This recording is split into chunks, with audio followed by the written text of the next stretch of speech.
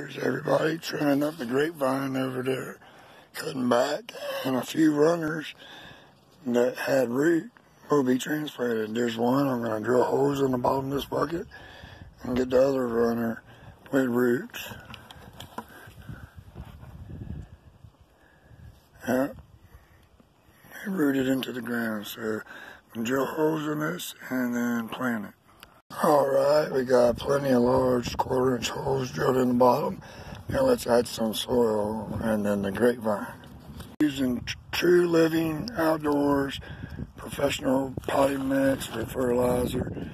Um, it's cheap stuff, it's mostly broken down uh, um, compost.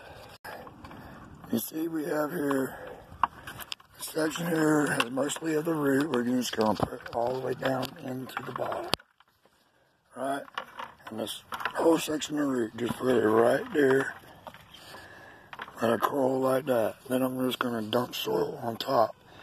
Then arrange the runner the way I want it. Alright, got them filled like that. Now I'm going to drench it out until it runs out the bottom. And I'm going to get some stakes. And uh, stake it up I I did that one. But I got more of those tomato stakes. I'm going to end up tomato staking these two. Alright, thanks for coming by the Hang Up Tribe Homestead. Hope you enjoyed a simple uh, get more grapevines for free. Alright, just by looking at the bottom when your runners go into the ground and get root. Y'all have a great one. Peace, love, and light. Educate be free, medicate. Oh yeah, stay lifted and gifted, and remember, food is life. So grow it, eat, and live.